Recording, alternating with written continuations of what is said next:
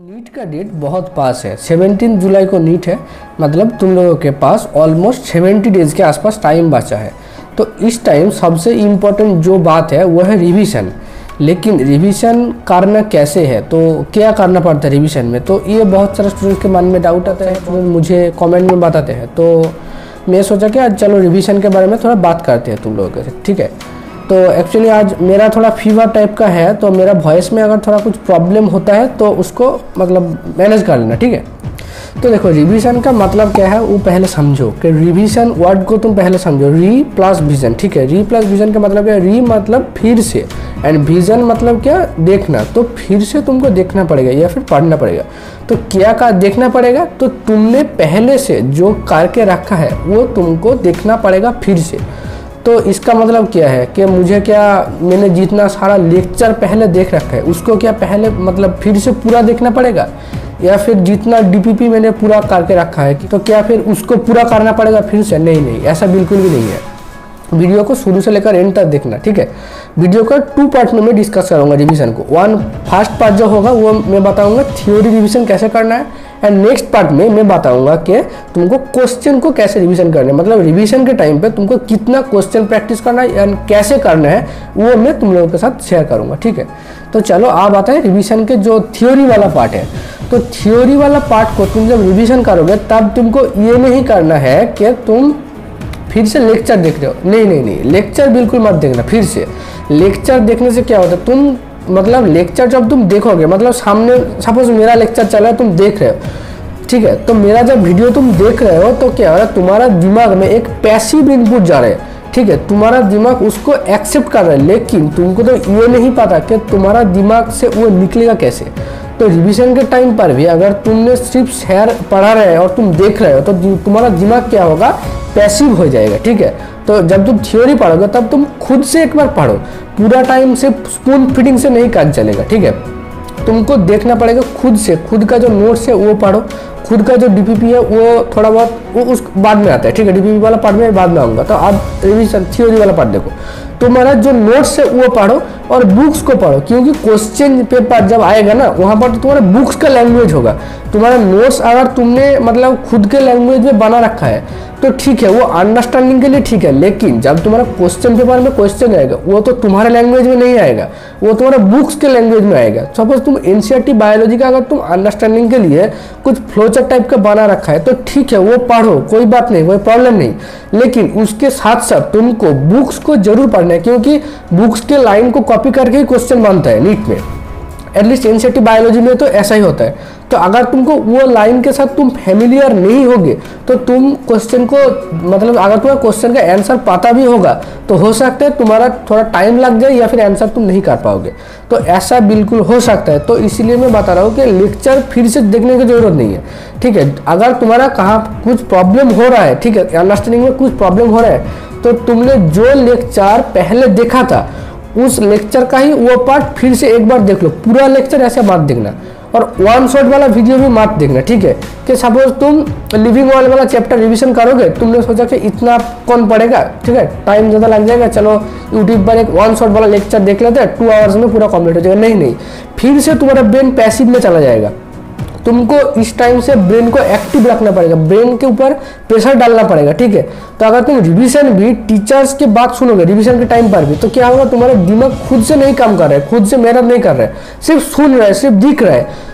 ठीक है? तो ऐसे नहीं काम कर एक बात तुमको पेन पेपर यूज़ करना ठीक है? सपोज़ तुम फिजिक्स का पढ़ रहे हो लिनियर मोशन तो वन डी मोशन जब तुम पढ़ोगे सपोज़ तुम एक फॉर्मूला पढ़ रहे हो या फिर कोई एक थ्योरी पढ़ रहे हो तो तुम जो पढ़ रहे हो ना उसको एक पेन पेपर ले लिया एंड उसके ऊपर ऐसे राफली पेन चलाते रहो कि सपोज़ हाँ हाँ ये होता है, ऐसा होता है, ऐसा होता है, तुम ये पॉइंट पढ़ा, उस पॉइंट को लिख लिया, उस पॉइंट के अंदर थोड़ा थोड़ा जो सब टॉपिक्स है वो लिख लिया कि ऐसा होता है, ऐसा होता है, ठीक है।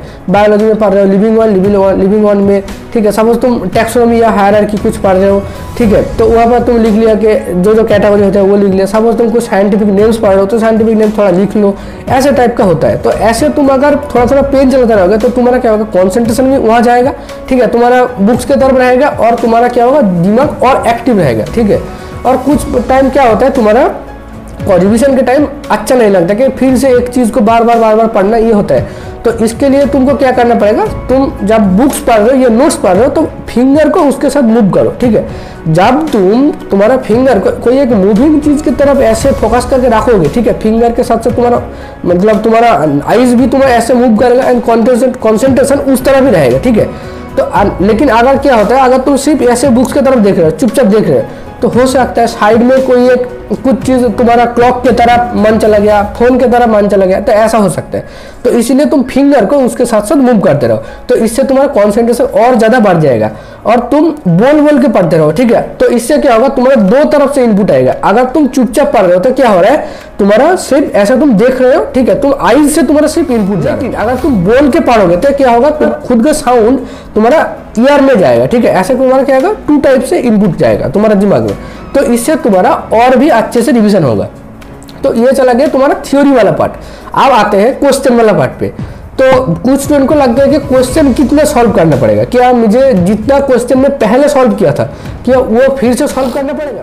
तो अब आता है टेस्ट एनालिसिस का जो इंपॉर्टेंस है, वो अब तुमको समझ में आएगा। मैं बहुत दिन से बोल रहा हूँ तुमको कि जब से मैं यूट्यूब स्टार्ट किया, तब से मैं बोलता हूँ कि टेस्ट एनालिसिस ज़रूर करते रहो, ठीक है? तो अब क्या होता है, देखो, तुम सपोज़ आज से पहले तुमने ट्वेंटी टेस्ट दिया है। तो 20 टेस्ट में तुमने हर टेस्ट को एनालिसिस करके करके एक नोटबुक बना लिया। तो उस नोटबुक में सपोज़ तुम्हारा फिजिक्स में रोटेशनल मोशन रोटेशनल मोशन में तुम्हारा कोई एक टॉपिक में प्रॉब्लम होता था, उस टेस्ट में प्रॉब्लम हुआ था। तुमने क्या किया? उस पॉइंट को नोट करके रखा है। तो आप जब तुम रोटेशनल मोशन पढ़ोगे तो तुमको पहले वो वाला टॉपिक का जो क्वेश्चन है, वो उठाना पड़ेगा। तो उसको ज़्यादा इंपॉर्टेंस देना पड़ेगा। अगर तुम हर एक टॉपिक से एक से दो क्वेश्चन प्रैक्टिस करो तो उस टॉपिक का फाइव क्वेश्चन प्रैक्टिस करो। ऐसे तुमको क्वेश्चन प्रैक्टिस करना पड़ेगा, ठीक है रिविजन के टाइम पे। ऐसा नहीं कि तुम पूरा जितना क्वेश्चन होता है कि हर एक चैप्टर के लिए 100 200 क्वेश्चन करो, ऐसा बिल्कुल करने की कोई ज़रूरत नहीं, ठीक है? तुम हर एक चैप्टर में सपोज़ तुम रोटेशनल मोशन पढ़ो रोटेशनल मोशन में तुमको तो पता है कि ये टॉपिक है, वो टॉपिक है, ठीक है? तो जितना भी फॉर्मूला है, तुम ये कर सकते हो कि हर एक टॉपिक का टू क्वेश्चन सॉल्व कर लो और तुम्हारा जो एनालिसिस में तुमने जो पाया था, जे हमारा यही गलती ज़्यादा होता है तो वहाँ वहाँ तुमने थोड़ा ज़्यादा क्वेश्चन प्रैक्टिस करो उस जगह पर, ठीक है? तो ऐसे तुम्हारा काम चल जाएगा। और एक बात तुम कर सकते हो ये सपोज़ तुमने एक क्वेश्चन बैंक उठा लिया क्वेश्चन बुक जो एमसीक्यू बुक्स होता है, वो उठा लिया। तो उसके अंदर सपोज़ एक चैप्टर में 100 क्वेश्चन है। तुम उस बुक को तुम्हारे मम्मी को, पापा को या ब्रदर सिस्टर किसी को भी दे दो, जिसको उस चैप्टर के बारे में कुछ पता है भी तो चलेगा, नहीं भी है तो और अच्छा है। तो उनको बोलो कि रैंडमली 20 टू 50 क्वेश्चन मार्क कर देने 50 नहीं करना ज़्यादा हो जाएगा 20 क्वेश्चन मार्क करने का बोलो। ठीक है सपोज़ उन्होंने चॉइस किया one five seven ten, eleven, thirteen, ऐसे करके तुमको ट्वेंटी क्वेश्चन तुमको दे दिए मार्क करके। तो तुम उस ट्वेंटी क्वेश्चन को सॉल्व करो। अगर तुम्हारा रैंडमली वो चुना हुआ ट्वेंटी क्वेश्चन तुम सॉल्व कर सकते हो तो इसका मतलब तुम्हारा रिविजन कंप्लीट हो गया, ठीक है? और स्पीड के लिए तुम तो टेस्ट दे रहे हो, है ना? तो टेस्ट से तुम्हारा क्या होगा? स्पीड मेंटेन हो जाएगा। तो टेस्ट को एनालिस करते रहो तो वहाँ पर फिर से तुम्हारा जो गलती होगा, वो वाला मतलब उस जगह पर तुम ज़्यादा क्वेश्चन प्रैक्टिस करना फिर से। और थ्योरी के लिए तुम फिर से खुद का नोट्स पढ़ो, ठीक है? जो बना रखा है नोट्स पढ़ो, या फिर पीडीएफ नोट्स मिला है तो पीडीएफ नोट्स पढ़ो।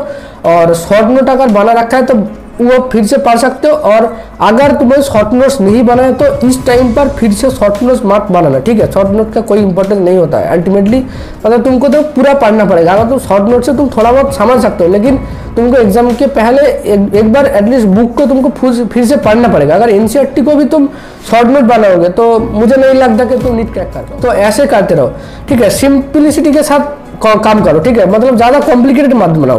टिप्स ट्रिक्स ऐसा मुझे मतलब मैं इन चीज़ों में ज़्यादा विश्वास नहीं करता हूँ, ठीक है? सिंपल रहो, ठीक है? काम करते रहो, हो जाएगा।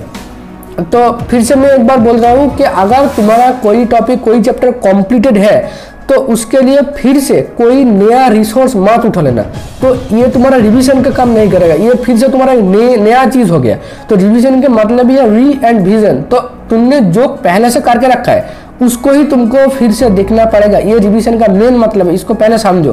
सपोज़ तुम याकिन बैच का स्टूडेंट हो अगर तुम्हारा यकीन बैच से पूरा सिलेबस कंप्लीटेड है तो तुम फिर से उम्मीद सीरीज़ मत फॉलो करना, ठीक है?